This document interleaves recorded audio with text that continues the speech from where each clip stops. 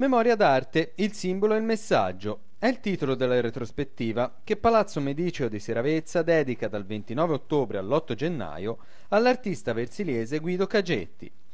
Cento opere selezionate fra le 1500 inaspettatamente ritrovate dopo la sua scomparsa nel garage dell'artista, frutto dell'appassionata e prorompente dedizione alla pittura di un uomo che ha sempre dipinto per se stesso e per gli amici più cari.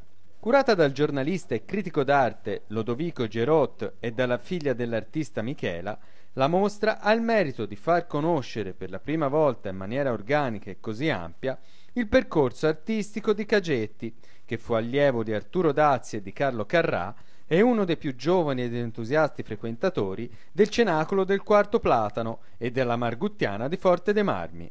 Guido Cagetti era una persona molto in gamba, molto buona, come ho detto molto introversa, eh, era un grande disegnatore, un, un ottimo pittore e ha, ha, voluto per tutta la vita rendere omaggio alla sua Versilia, soprattutto alla sua Versilia.